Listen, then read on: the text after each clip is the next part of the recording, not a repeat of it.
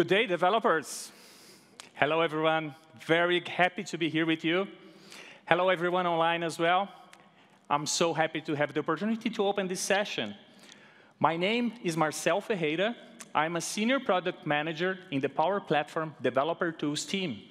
And I will be here today with my colleagues from different teams and divisions. And what we do every day is building tools for you we want to talk specifically with professional developers that we also call code-first developers.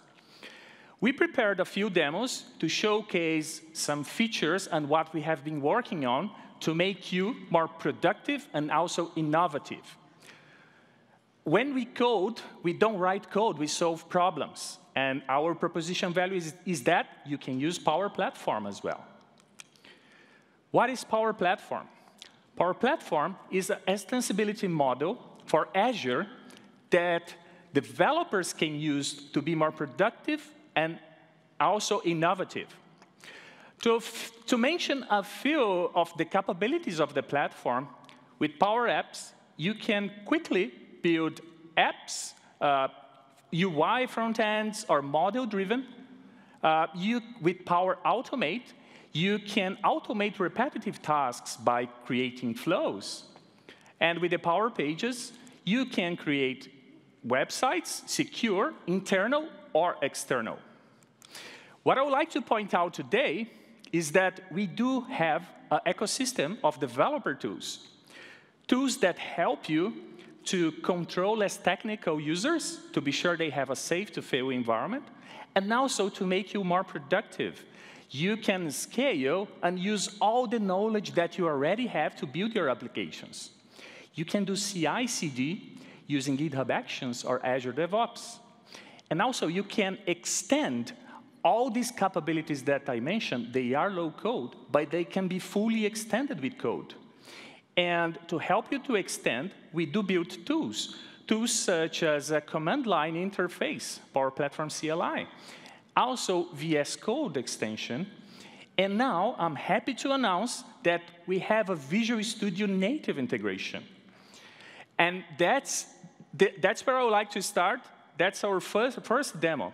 And uh, to our demo, I will have one scenario. And the scenario is modern uh, digital modernization. I will play the role of a backend developer, and I work in an HVAC company. Uh, we have few technicians.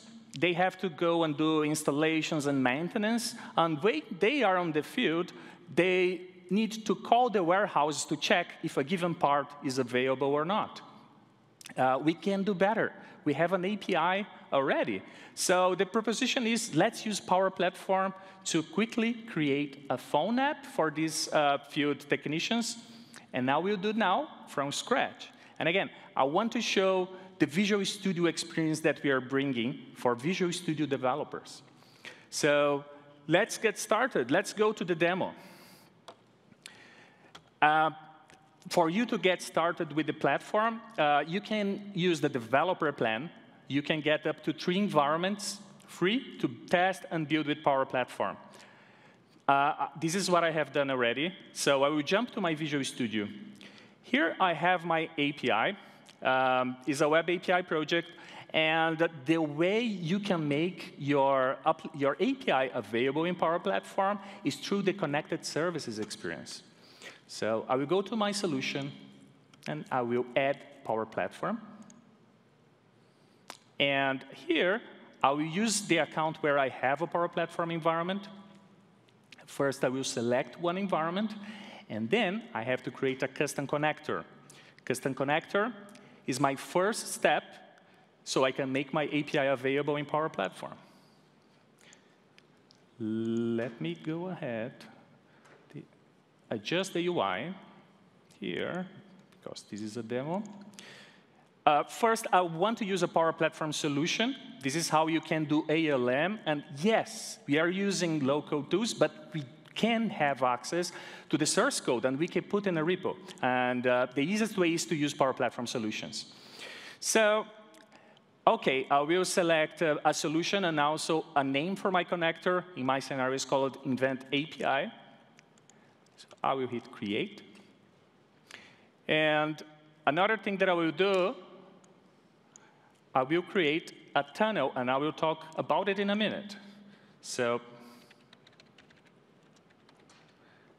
we just select the name and OK. And again, I will be back to it.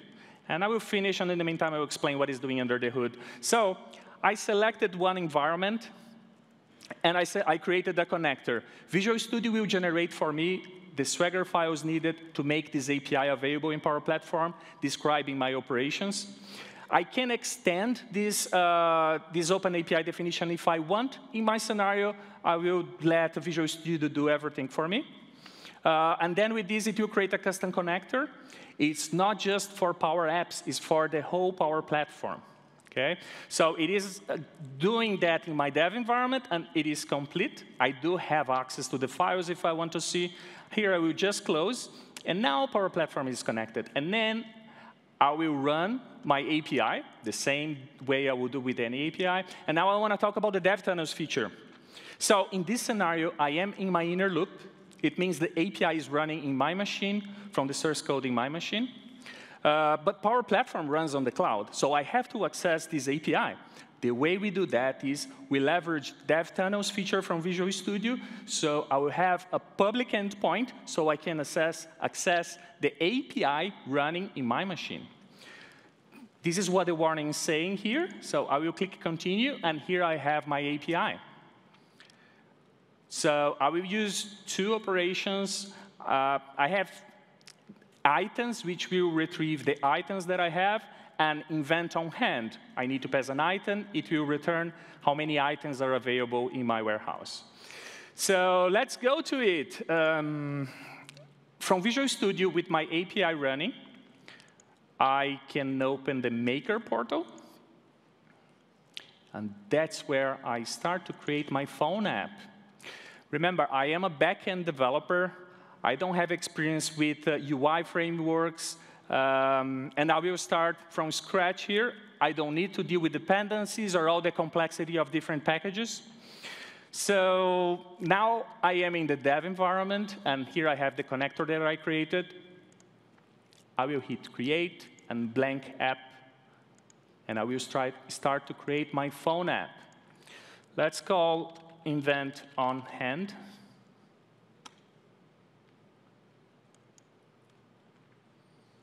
And then I will go to the Power Apps Studio. And this is the experience of uh, building uh, the app. First step, I will add the data. I will add the connector that I created. The name is invent. API, I will hit connect. And now my API is available in Power Apps Studio. Now let's add two screens. I will have one screen for my first operation, get items and I will have another screen for my get invent on hand. All right, let's delete the first blank screen. And let's rename here to screen one. And screen two. In the first screen, I will select this visual control, call my connector, and call my operation which is get items. All right. Let's change the layout. I want three fields. And here is the list of my items from my API. Next step, on the second screen, I will call my next operation. My next operation is get invent on hand. And now I want to show a cool feature for you. Here, in this operation, I need to pass the item, right? So I will pass the item of my first visual control. The name is browse gallery 1. That's the list of my items. Then I will choose the selected item. And then I will use item ID. And voila, I have a breakpoint and is hitting the breakpoint, it means I am in the cloud, but I am debugging in real time in my machine. So I'm really in the inner loop. And uh, if I come here, I could debug my API. Here I have the item ID that I selected. Here, I will remove the breakpoint and I will continue my development. All right. So let's change the layout. And I will select my fields. Let's use number in stock. And my app is ready. Ah, obviously, we need to adjust the visual uh, controls to go back to the other screen. So let's quickly adjust here. Let's change this to back to go back to the screen one. And let's call the screen one.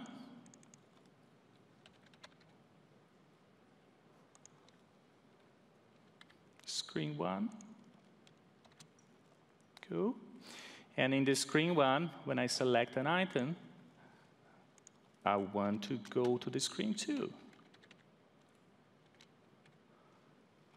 So screen two. And let's run the app again.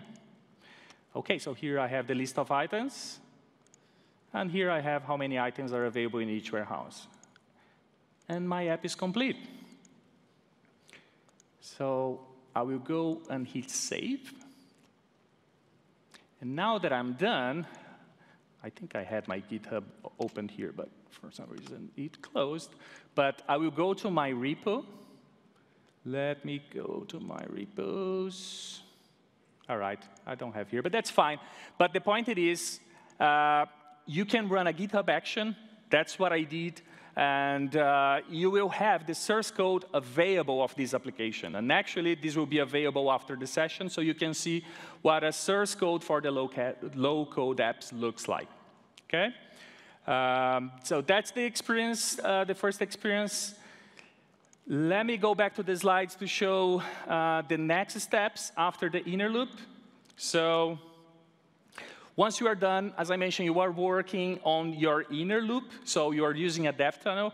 Once you are done, you can update the endpoint to use a public endpoint once your API is published.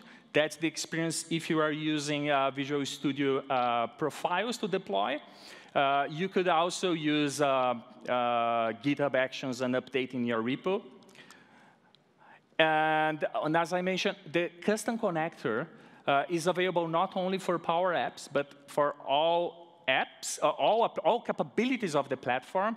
In this example, I'm using Flow to set up some automation. So I will check the items, and when one item runs out of stock, I will send an email for someone to replenish. So you could do that yourself, or you are empowering your users to use low code to make your life easier so you not get requests. Uh, another possibility is to use other products. So in this example, I could use also Power Pages. Instead of doing a phone app or adding to the phone app, I could do a website, internal or external, and use a flow to automate the tasks. And actually, this is what I would like to announce as well, is that Flow now has the capability of call, call cloud flows in the Power Pages, so making a lot easier to integrate. And uh, for, for example, in this scenario, you could use the custom connector again. So Power Pages supports input and output parameters. So you could call the custom connector and then return the result to your website. This is what we did here in this example. And uh, once you have your Cloudflow, you will have a URL, and you can set the security in this URL. You could set uh, specific roles to have access to it. You can make internal or external. Uh, is is a secure, is not a it's very secure. And uh, this is the experience of uh, when you are building uh, websites uh, with Power Pages. Here, we are adding a button, and we are using code to extend this button, and we will call this Cloudflow. Here we are, we are using VS Code integrated in the browser uh, to, to make an AJAX call to call this Cloudflow. And that's the code experience with uh, Power Pages. And this is the final result, which is the website using the same API I just uh, created using the custom connector. And you could do that with any other capability. Uh, I want to go back one step. When I was doing the app, I did some code. You might be wondering what is that language? And that is actually PowerFX. And I would like to call my friend Joris to talk about uh, PowerFX.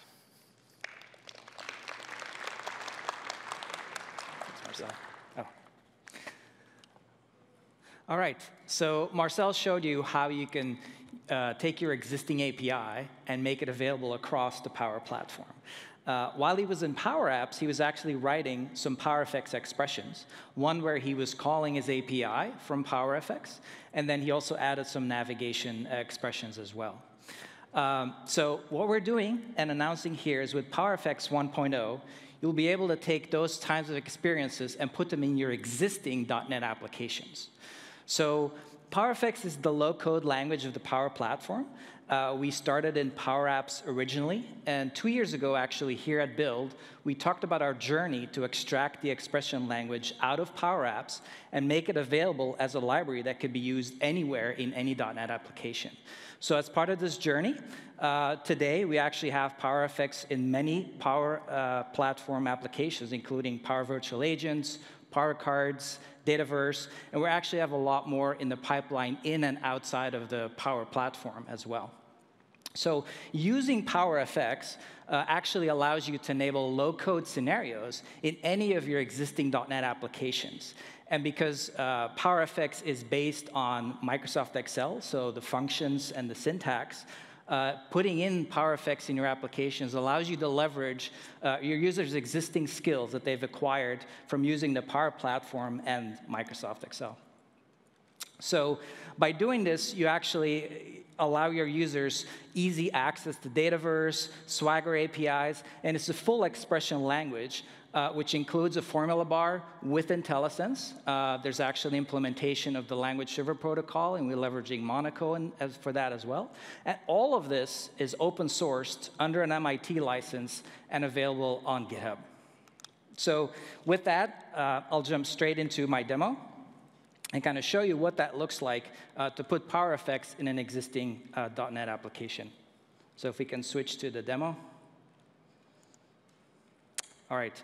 Um, so I have an existing application here, and let me just quickly show you what that looks like. This could be any application, could be a desktop, a web application, whatever you may have, as long as it's .NET. Uh, in this particular case, let's say employees have a way to look up specific information about their products. Um, and what we have is here, our designers have already added a little bit of UI because we want to give our users of this application uh, the capability to add their own columns, maybe do some calculations, do some lookups, whatever they may need. So we have this here. So what we're going to do is actually add PowerFX to this application. So here you can see I already have the NuGet packages added, the interpreter, which let me just move that a little bit, the interpreter, which is the main runtime, and the evaluator for PowerFX expressions. And we've also added the connectors NuGet here, because we want to leverage Marcel's API and kind of show you that it all flows through entirely. So what I'm going to do here, I have some pre-made code. Uh, which I'll comment. So first of all, our recalc engine, that's just the main runtime and evaluator. And then also, because I already have in my .NET code a class and a list of, of objects that have all my object uh, product information, I actually want to make that object available inside of PowerFX as well. And for that, I will use a marshaller. So we have these members declared here. So then I'll go ahead and um, instantiate our recalc engine. Uh, we have a few feature flags. This PowerFX uh, version 1 is almost ready. Uh, today, you still have to enable it uh, with a flag. And then here, what I'm doing is I'm instantiating a marshaller cache. And um, I'm getting a marshaller specific for my product class that I have here in C Sharp. So with that, let's go ahead to the function that actually adds the column. And let's comment out this uh, empty here. And what I have is I will evaluate the expression that is coming in. Uh, and then I'm actually marshaling the current product that we're on as a record value. So this will make, for the ex expression that I'm writing, will make the current product on that line available to use all the different properties I may have in my expression as well. And then I'm just quickly putting this into a string so that I can show it on the web page. So as a simple example, let's look. This should already work. So you saw earlier on that grid, I had an item name, a description, and a price. So let's just do something really quick to make sure that it works. We'll add a column, and let's say we'll put, uh, we'll put like a discount column on here. Uh, I'm not sure if that makes a ton of sense, but let's do that, discount. And then since I do have uh, my, my data from the item, let's say we'll just do times 0.5, and there we go. So the expression works, so great. So now what I want to do next is actually leverage Marcel's API and show that as well, that the whole thing uh, flows through. So to do that, uh, Marcel showed you that we get a Swagger, obviously, for our um, API. So what I'm doing here is I'm getting the Swagger API directly from the website, and then I am uh, instantiating an API, API doc. What we need to do is we'll take the Swagger. PowerFX is strongly typed, so we want to use that Swagger and have PowerFX create strongly typed objects that we can use in our expressions. Uh, we'll pass in an HTTP client because obviously the runtime needs to know how to actually call the API. It's a simple HTTP, HTTP client. And then what we do is we simply, to the config we had earlier, we add our service. Um, I'm giving it the same namespace as what Marcel saw in Power Apps, so Invent API connector. That will be the object name that will be available. Um, and passing in the doc and the client. So that's really all we need to do. So at this point, uh, this will work. So what I'm going to do is I'll show you this expression. So this is very similar to what Marcel showed. So we have the connector. We're calling the get invent on hand action on it. We're passing in the item ID, because remember, we have the current product information on that line. And then we'll do a sum of how many we have in stock in total. So if I run this, to actually copy it, hopefully. Uh, we'll add this column again. This time, let's just call it um, on hand, perhaps. On hand. And then I will, that wasn't it. I didn't copy it. We'll paste this in here. And so we add our column, and there we go. You see that we actually got Marcel's APIs on hand. So hopefully, this kind of sketches you with the situation where you can take PowerFX, put it in your existing .NET application, and enable these low-code scenarios for your users. So with that, I'm going to hand it to Justin, who will show you how to innovate further with the Power Platform. Thanks, Joris, for the great demo and introduction. As Marcel introduced a new feature of Visual Studio that export a Power Platform custom connector to um, Power Platform custom connector from the Visual Studio and debug it within Visual Studio. Now I can say this is an innovation. Let's talk about another type of innovation using API management. So how can we leverage Azure API management while building a custom connector? So this Power Apps application retrieves all the GitHub issues from a certain GitHub repository and summarizes issues through Azure OpenAI service. And of course, there is a backend in behind. So let's think about this.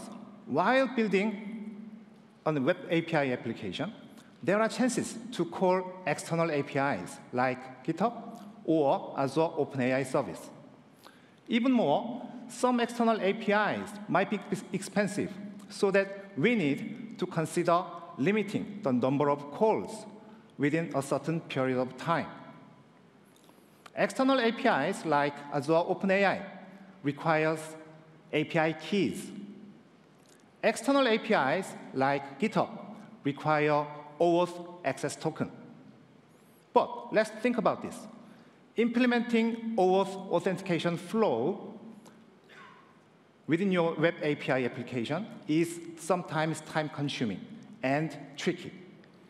Even if there are SDKs for it, it's still not that easy. the purpose of OAuth authentication workflow implementation is just simply to get the access token. Then, what if API management can does it, everything for you, and all we need is to focus on our business logic, and API management takes care of the rest, including OAuth authentication workflow. API management has recently released this new feature called authorization. So now you can enjoy this new feature with API management. But first, we need to integrate your web API application with API management. So how can we do this within Visual Studio? In the next couple of minutes, I'm going to walk you through how to deploy your web API application to Azure App Service instance, then integrate it with API management without having to leave Visual Studio. Let's take a look. So I have, I have Visual Studio open. Now, we have web API application like this. And as I said, we are going to call external APIs like GitHub or Azure OpenAI service. But we don't have to write the code from the scratch because we have OctoKit and we have Azure AI OpenAI service, NuGet packages. So all we need to pass to the application is GitHub username and GitHub repository name, and API keys and endpoint to the Azure OpenAI service. So with this information, we can call the GitHub API to retrieve all the issues from the specific repository and summarizes them within this, uh, within this application using Azure OpenAI service. Now, our application is ready, so let's try to publish this application. So let's click right-click mouse, uh, right mouse click, then click the publish button. Now, we choose Azure as a platform. Then we are going to deploy this application to Azure App Service for Windows now. So select it and click on Next. And now we are going to start fun part. So there are chances to have multiple app service instances. So search up my app service instance, and there we go. So we have app service instance. Now click next, and this is API management instance. Oh, we don't have it. Now we have the API management here. So we choose API management, and there will be um, the API can integrate it. So choose this, but how can we, how can this API management recognize this application? That's the secret. I will discuss that later. So click on this button, and we are going to choose either publish profile or GitHub Actions workflow. For now, I'm going to choose publish profile now, then click the finish button. Then it will generate the publish profile on my behalf. And within the here, after this, um, after this generation, we are going to, we, are, we will be able to see which app service instance we are going to deploy and which API management instance uh, we are going to integrate. So it takes time. So once we um, get to the point, let's um, discuss a little bit of um, the background story. Now, we have, oops. Okay, so I don't have enough permissions. That's interesting. So that's OK. Um, that's why I put already the, um, the deployed application here. So let's go back to here. Oof. Now, so we have deployed the application. And go to the browse button. And actually, this is the secret. So if I implement the swashbuckle to expose our API to the um, with OpenAPI document, then API management automatically recognize my API. So I have, I have these four operations here. So if I go into the API management and click the issue summary, then I have four operations now ready. So by doing so, um, within the Visual Studio, the API management automatically recognizes my web API application with these operations. So let's go into the chat completion endpoint. Then start clicking test. So let's test it again. Let's test on this one. So tell me about Azure. Oops, Azure. Then click the send button. Then it will send us a result with a summary of what Azure is. Now, I'm going to test it again with, oops, with Azure API management. Then click, and it will give us uh, the, um, the summary of Azure API management. Now, what if this external API, so we call external API like Azure OpenAI service. What if that uh, the external API is so expensive, so we need to find some sort of balance between cost management and performance.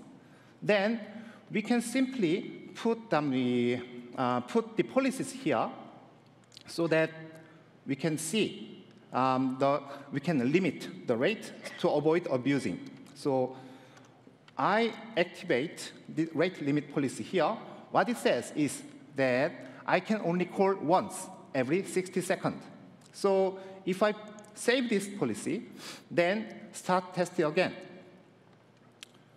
Now, test again, tell me about Azure. Then it will return the normal response, like what Azure is, right? Then, this time, tell me about Azure API management. What will happen? Oh, I got error because I got 4 to 9, because I got throttled, because I, got, I have requested too fast within 60 seconds. So that's how we can leverage API management. Your web API is still the same, but we can have more control within API management. Now, I'm handing over to Julia about authorization.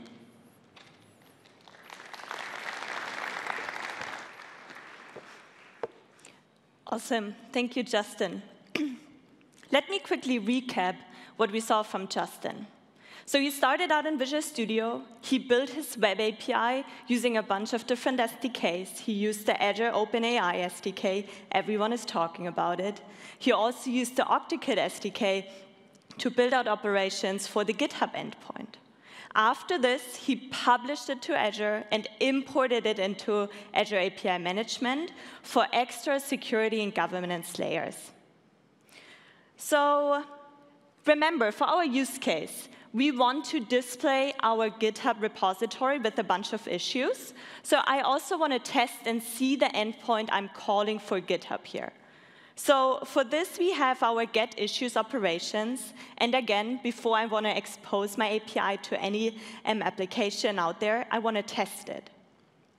So for my use case, I build out a GitHub repository with a bunch of issues, because I want to use these issues later on to infuse it with um, OpenAI and to summarize it.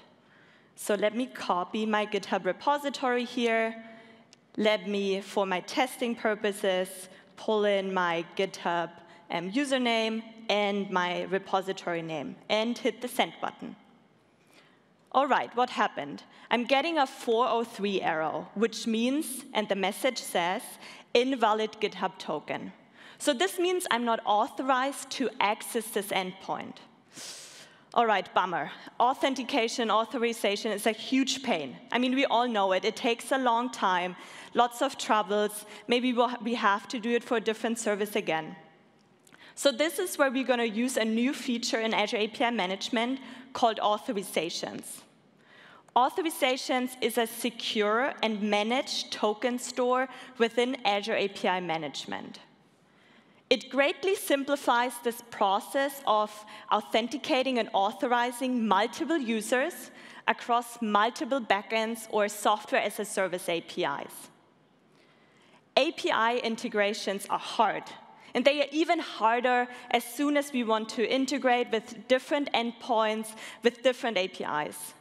So authentication, authorization being a key factor in this, we wanted to provide you an easy way that makes it manageable, that makes it configurable, and makes it easy to apply to a bunch of different APIs here. So this is where authorization comes in. As I said a lot of times, very easy. So we are right in the portal. We are creating a new authorization here. It consists of three steps. First step, we have to configure our identity provider. Second step, we have to get our connection up and running. And after this, of course, for policy and governance reasons, we want to access or apply an access policy to our authentication here. Currently, we support a bunch of different identity providers. For our use case, we are using the GitHub identity provider, but as soon as it is um, supporting OAuth 2, you can go ahead and configure it based on your customized needs as well. So as I said, we are using the GitHub um, identity provider here. So I went ahead and already created an authorization called GitHub Issues. We talked about multiple users being authenticated, creating connections.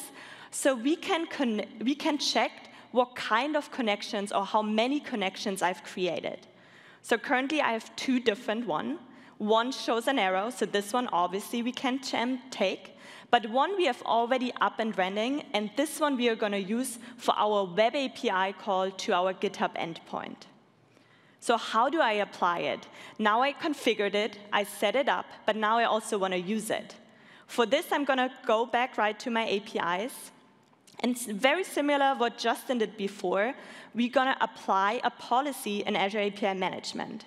For this, I'm going to open, I'm first selecting my Git issues um, operations, and I'm going to jump into the policy editor, and I'm going to expand it here, and I am going to explain what we are doing. So we have a policy called get authorization context we have to provide the provider ID, which we saw, it was GitHub issues. And we also have to provide the connection ID, authorization ID, also again in our use case, GitHub issues. So what we are doing here, every time I'm calling my web API, I'm getting my authorization context, in our use case, the access token, and then I'm appending it to my API header because I want to pass it along and let GitHub know I'm authorized to make this call. So I'm appending the access token. Let me save it, and let's test it and see if it works. For this, again, I'm going to go into my testing um, tab right here. I'm going to type in my GitHub user account and the GitHub repo that we want to access to, and sending, fingers crossed, yes, this time I'm getting a 200, and if I scroll down, I can see all of my um, data endpoints, all of my data that I want to have access to. Great. We tested Open, Azure OpenAI service, which worked. We tested our GitHub endpoint. Now we want to expose it. As an API developer, I want to focus on my core skills. I want to focus on building web APIs, leveraging new technology, using new SDKs. But sometimes, you know, I need to quickly build a front end. As we've seen before from Marcel, it's easy to build a front end using Microsoft Power Apps. So in this use case, I want to expose, again, my web APIs to the Microsoft Power Platform. We have a tab here, and also from within Azure API Management, I can now create, again, a custom connector. We learned about this before. A custom connector, again, it's simply a wrapper around our REST APIs, and we expose it to the Microsoft Power Platform so users there can consume it, or even we as developer can use it there and build, quickly build any kind of front end for our backend. So I want to be, before I'm exposing it, security, security can be a, a big concern. I want to make sure, even though I'm exposing my endpoints, I'm exposing my web APIs, only users can access it who have a subscription key. That's why I enabled subscription key here. And even though I'm exposing this data to my Power Platform environment, only users with the subscription key can use it and build applications with it. So as soon as I'm ready, I only hit the Create button here, and my custom connector will show up on the Microsoft Power Platform side. So I went ahead and quickly built a front end for my web app. It didn't take me five minutes like me Marcel before. It might have taken me 30 minutes, but I didn't do a bunch of different stuff. I added a header here. I added a, um, a nice picture here as well. So now I want to display all of the issues I before saw in my GitHub repository. First, I want to make sure my custom connector is within my Power App. Check, which is here. And now, every time a user is opening up this, web, this Power App, um, the issues are um, being sh showcased and displayed. So I'm um, modifying the on-start behavior of my Power App. For this, I'm, again, calling my custom connector. I'm calling my issues operation. I'm passing along my username and my GitHub repository, and then I want to retrieve the items. Let us check if it works. I'm going to hit the Run on Start button my spinner is spinning, and perfect. I can see the four issues we saw before in our GitHub repository here. So now, let's make it fun. Everyone is talking about Azure OpenAI. Um, Azure OpenAI. We also want to use it. So what I want to do is I want to pass along my um, GitHub issues content, and I want to summarize it. So for this, I'm, I built a um, button here and again, because we already have the web API up and running, I only need to call it. This time, custom connector's name, chat completion, I'm calling a different operation. And this time, I'm passing along my GitHub issues body for Azure OpenAI to do their magic and bringing me back a summarized GitHub issue. Let's test it. Um, let's check one of the GitHub issues we want to summarize here just going to click on the last one. So a bunch of information. Me as a developer, maybe let's, I just want to get the, the very gist of it, like the summary here. Um, I'm going to hit the summarize button, and voila, I'm getting the OpenAI summary of my GitHub issue here. So what did we do today? We used Azure API Management as our platform for managing APIs governing and securing them. We then exposed it to the Microsoft Power Platform to securely build a front end over our backend. We used a new feature, authorizations, a secure token management store within Azure API Management to make authentication authorization so much easier.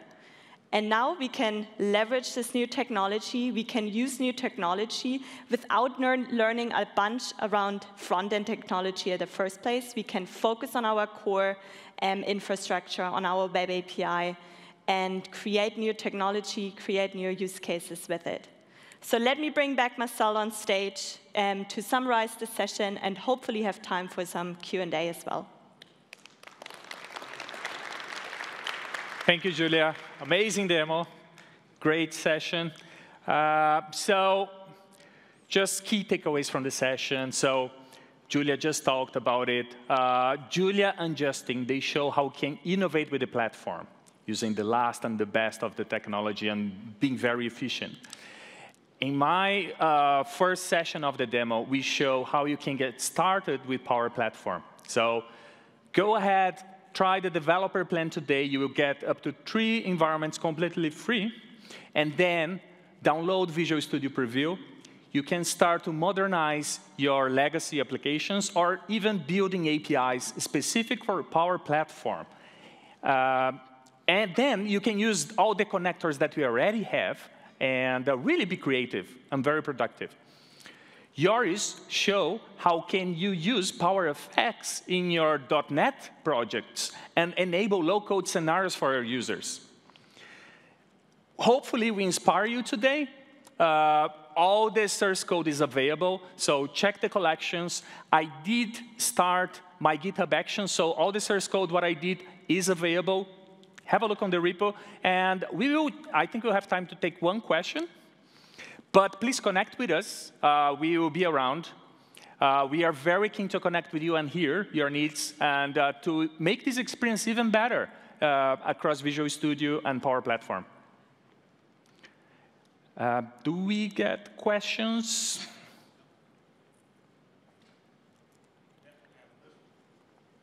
Yes.